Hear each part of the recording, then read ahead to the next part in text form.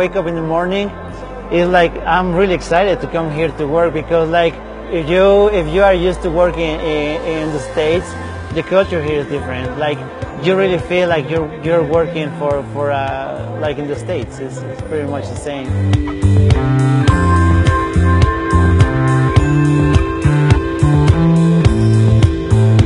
They make fun of your accent, the way you think, the way you uh, dress, probably the way you uh, behave, or the way you see life in overall. So it was it was it was shocking at the beginning.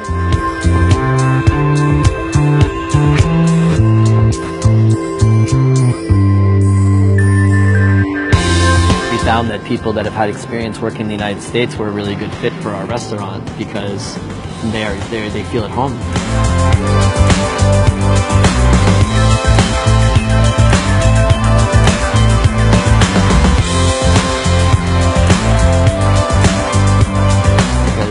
What we've seen is that when we treat our people with respect, uh, in return they, they do really great things and they provide a great customer service.